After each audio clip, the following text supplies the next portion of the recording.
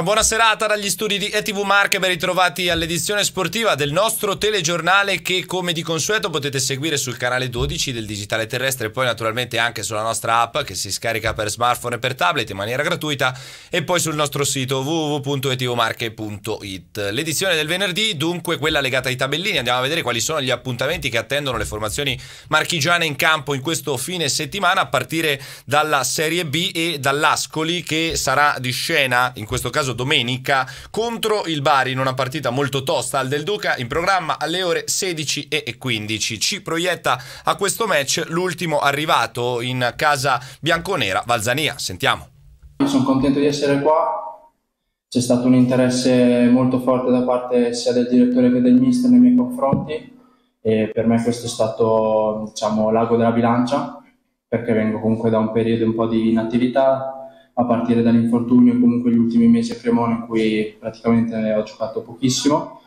Quindi sotto questo punto di vista mi ha fatto veramente tanto piacere e della loro stima, della loro fiducia nei miei confronti. È stata una partita a Parma, secondo me ha fatto un'ottima gara. Potevamo magari nel momento in cui siamo passati in vantaggio cercare magari di gestirla in maniera diversa per non prendere gol, però comunque è un buon punto, è un punto secondo me da cui dobbiamo partire, un punto che ci dà morale perché comunque sia fare punti a Parma contro la prima in classifica che è una delle pretendenti al salto di categoria, quindi penso che abbiamo messo un po' le basi per questo girone di ritorno. Penso che abbia bisogno di mettere su condizione perché comunque sia, come ho detto prima, a livello di nei mesi passati sono stati un po', un po difficili, un po' particolari per me, quindi eh, la prima cosa che mi interessa è mettere su condizione per essere in grado poi di aiutare nel modo migliore che possa la squadra. E io quando sono arrivato qua tutti mi hanno accolto molto bene, da partire dalla società, dal mister, ma soprattutto i compagni, quindi ho avuto la possibilità già nell'arco di una settimana di integrarmi subito e questo penso che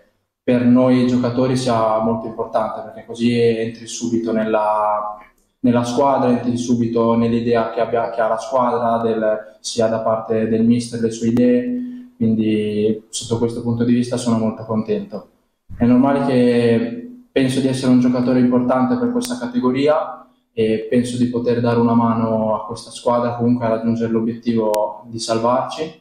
e come detto prima, ho bisogno magari di qualche partita per mettere su ancora più condizioni per essere poi in grado di,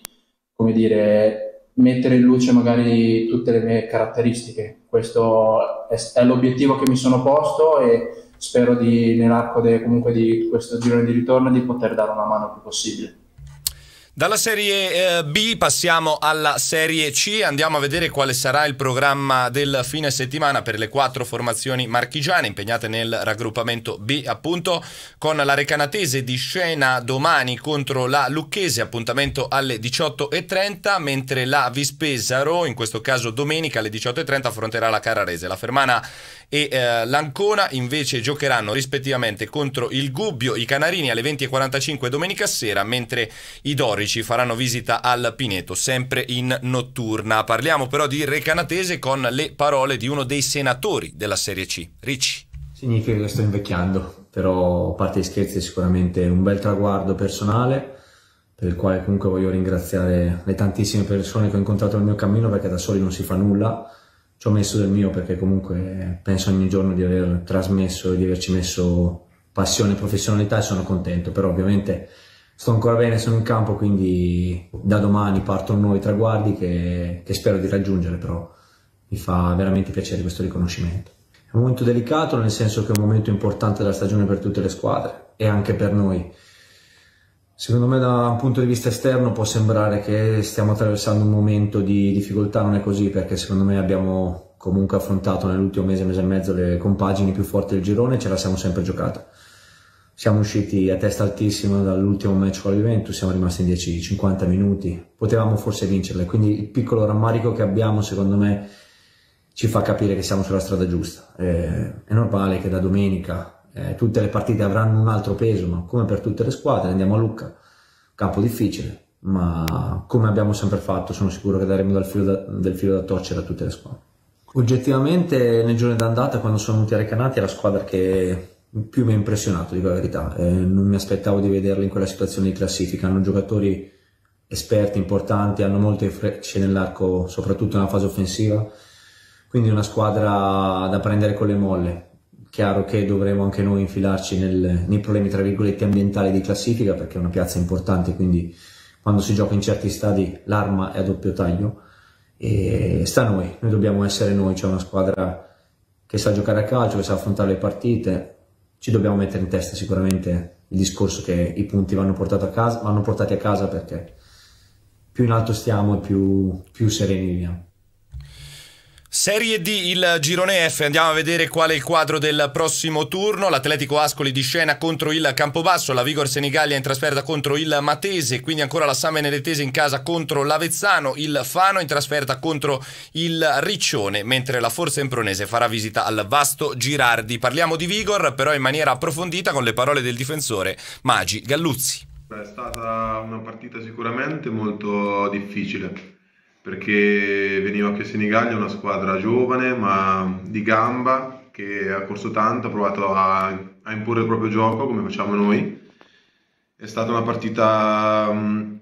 tosta in cui secondo me abbiamo fatto molto bene dal, dal punto di vista del nostro gioco, siamo riusciti a, a, proporre le nostre idee, ma come hai detto tu è mancato là davanti, non là davanti, in zona gol comunque forse un po' di precisione, non dettata da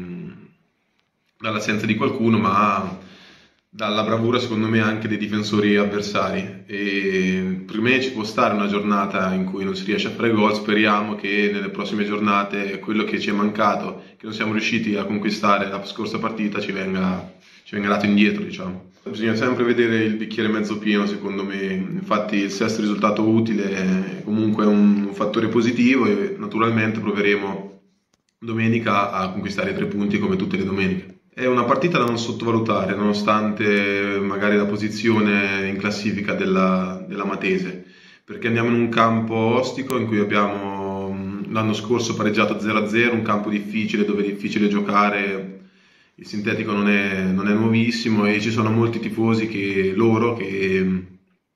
che, comunque sostengono la squadra e sperando che anche i nostri, nonostante la, la lunga trasferta, ci vengano a dare una mano. Questi gli auspici di Magi Galluzzi, ora parliamo di eccellenza, il tabellino del prossimo turno con Castelfidardo Tolentino, uno dei match in programma nella prossima giornata, Chiesa Nuova Civitanovese, Jesina K Sport Montecchio, quindi Urbino contro Atletico Azzurracolli, Maceratese Urbania, Montefano, San Giustese Val di Chiantiponte, Monturano Campiglione contro Montegranaro e infine Osimana contro Montegiorgio. Questo per quanto riguarda il torneo di eccellenza, il massimo torneo regionale nazionale. Dal calcio ci trasferiamo al basket per vedere dove sarà impegnata la formazione eh, pesarese della VL, in questo caso in casa, domenica alle ore 18.30 contro l'Olimpia Milano. Dunque una partita di cartello in programma proprio a Pesaro che in questi giorni si prepara, in particolare domani, ad inaugurare il suo anno di capitale della cultura. Partita appunto tra VL e eh, Milano in programma domenica alle 18.30. Ora invece il volley con la Superlega e questo appuntamento che attende la Lube domenica alle ore 18 in casa a Civitanova contro il Power Volley, anche in questo caso formazione milanese